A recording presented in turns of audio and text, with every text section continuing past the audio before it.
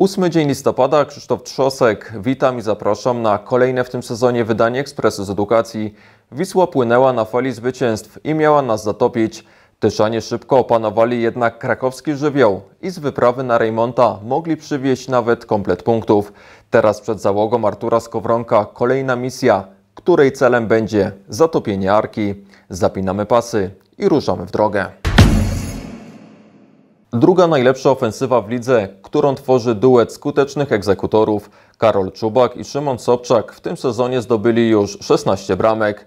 Jutro do Tychów przyjedzie trzeci obecnie zespół Betclick pierwszej ligi. Arka będzie faworytem, ale Tyszanie w ostatnich spotkaniach pokazali dobrą grę i w sobotę będą chcieli zgarnąć w końcu komplet punktów.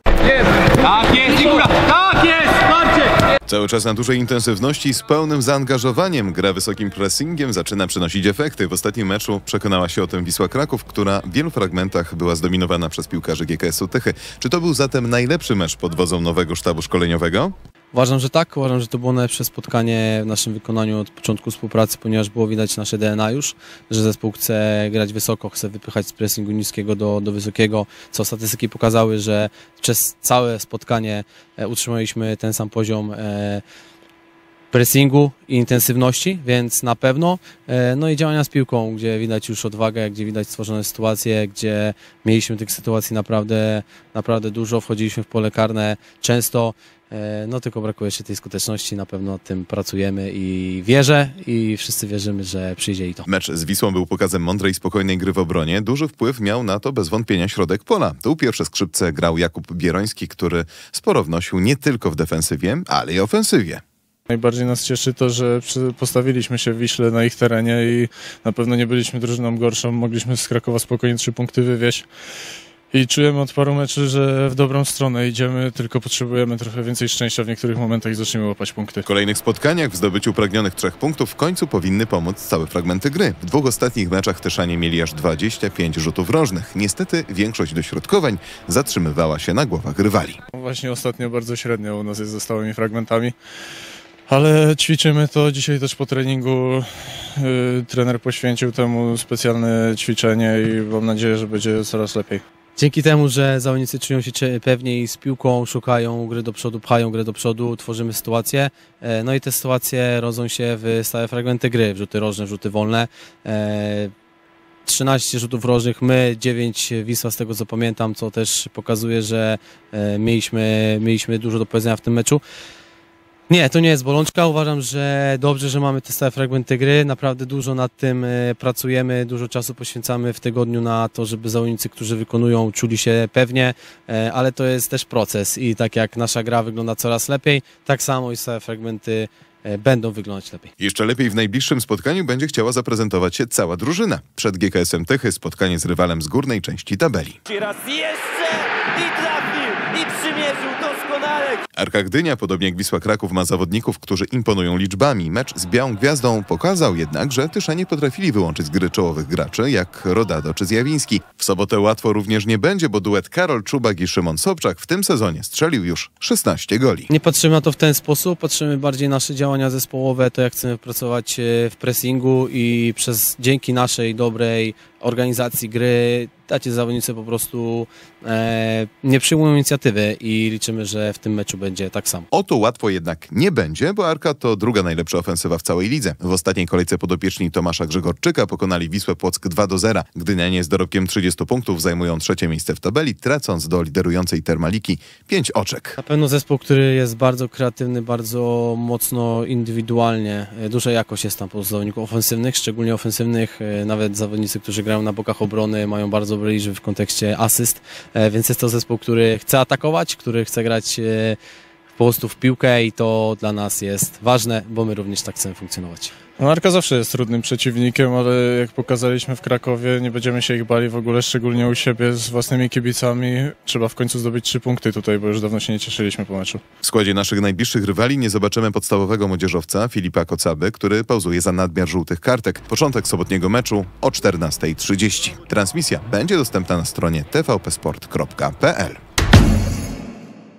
Historia jest bardzo długa i bogata w liczbę rozegranych spotkań. W sobotę już po raz 25 w dziejach klubu zagramy z Arką Gdynia. Bilans nie jest korzystny i zdecydowanie przemawia na korzyść rywali. Kibice trójkolorowych miło nie mogą wspominać ostatnich spotkań. Po raz ostatni Tyszanie pokonali Arkę 3 lata temu, a w poprzednim sezonie dwukrotnie schodziliśmy z boiska. Pokonani. W czwartek na Stadionie Miejskim odbyła się pierwsza konferencja trenerów dla klubów partnerskich. Swoją wiedzą i doświadczeniem podzielili się szkoleniowcy GKS-u Tychy.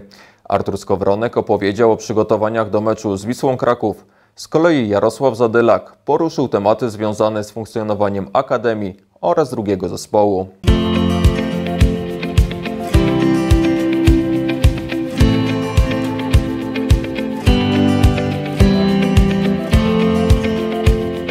Uważam, że takie spotkania, gdzie możemy wymienić doświadczenia, e, są zawsze potrzebne, tylko dzięki takiej drodze i takiemu nastawieniu jest szansa na rozwój.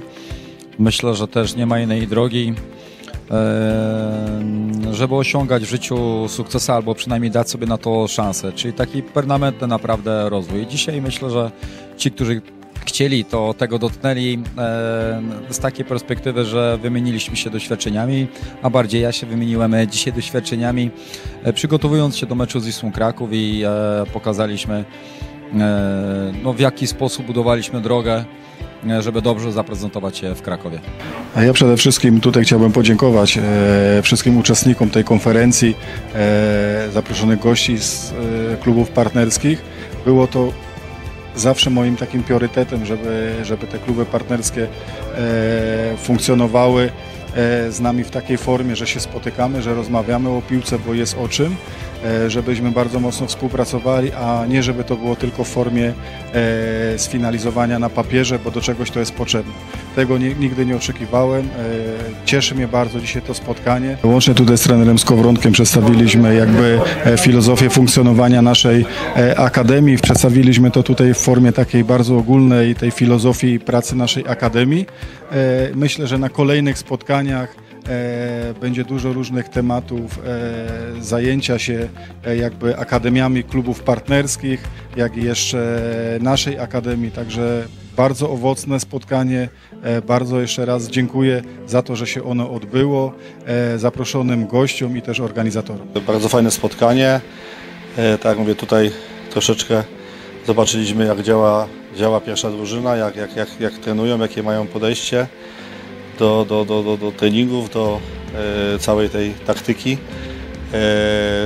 Dodatkowo jeszcze był też wykład mojego kolegi Jarka Zadylaka, kierownika czy trenera koordynatora Akademii.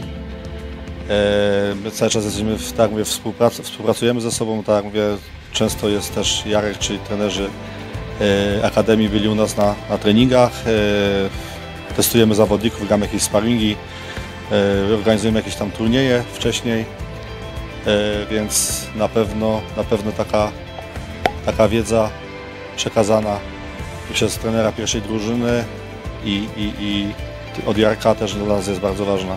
Na koniec zapraszamy Państwa do udziału w naszym konkursie. Pierwsza osoba, która wskaże przybliżoną frekwencję w trakcie sobotniego meczu, otrzyma podwójne zaproszenie do strefy VIP na kolejne domowe spotkanie z Kotwicą Kołobrzeg. Maksymalnie można pomylić się o 30 osób.